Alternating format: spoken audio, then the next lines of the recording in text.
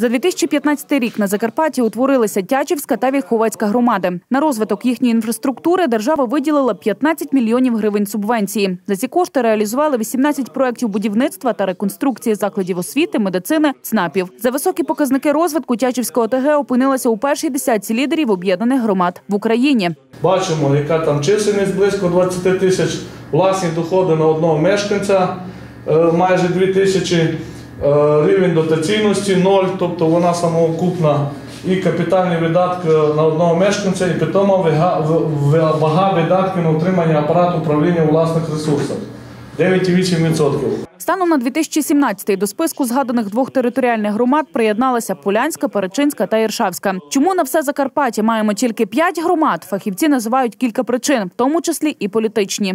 Є е, саботаж фактичний, прихований чи не прихований деяких керівників районів або в іншому напрямку. Тобто, можливо, вони не афішують, але насправді роблять свою роботу. І третій варіант це самі органи місцевого самоврядування, які не впевнені, тобто не є лідерами на своїх територіях. А от долю районних адміністрацій нардепи можуть вирішити вже цієї осені. Саме народні обранці мають прийняти закон, який урегулює функціонування РДА та заразом і засади адміністративно-територіального устрою об'єднаних громад.